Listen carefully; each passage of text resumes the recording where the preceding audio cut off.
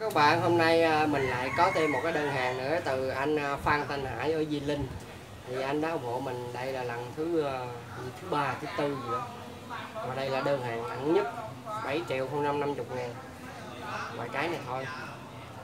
Rồi, thì hôm nay anh lại ủng hộ tiếp một cái yên 86 rồi, hai cái tay xi nhanh trước rất đẹp ha rồi đánh lộn hai tay xi nhanh sau rồi hai cái tay xi nhanh trước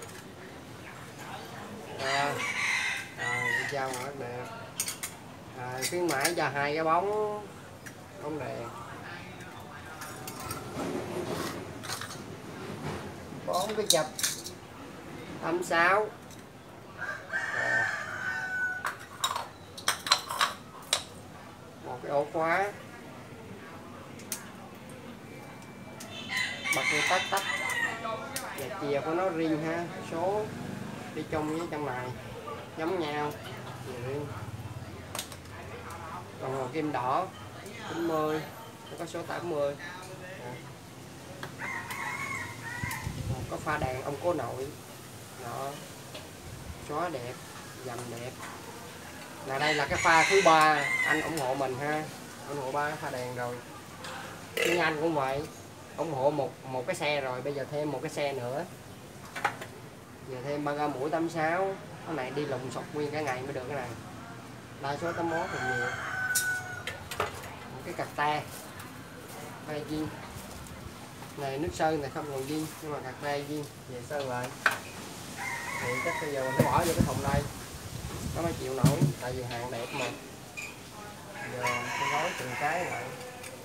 À, khuyến mãi cho anh hai cái cái này. Ủa cái này ốc đâu trời? Cái kỳ đó rồi đây chỉ móc gắn vô. Rồi lần trước mua hàng thì anh Hải cứ mua riêng hai cái này. Mà lần này mua thì không nghe anh đếm xỉa gì cái này hết cứ mãi luôn. Cứ mãi là tại vì anh mua rất là nhiều ha. Hơn 7 triệu rồi thì mình khuyến mãi chứ các bạn mua có một hai món biểu mình khuyến mãi mình không khuyến mãi được và không có lời nhiều. Ok bây gói lại. Mình nhất là món đèn này gói lại chứ không anh nó bể vận chuyển thì nó bể hết.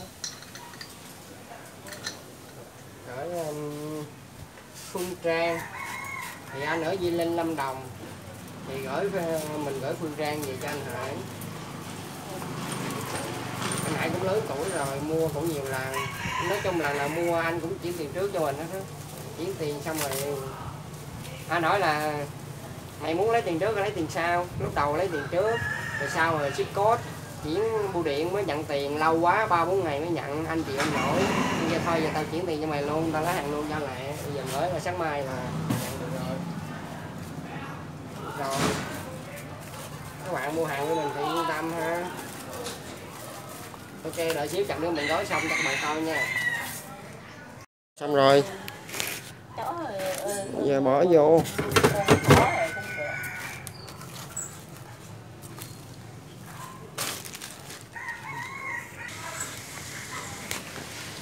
Rồi xong, tấm thùng lại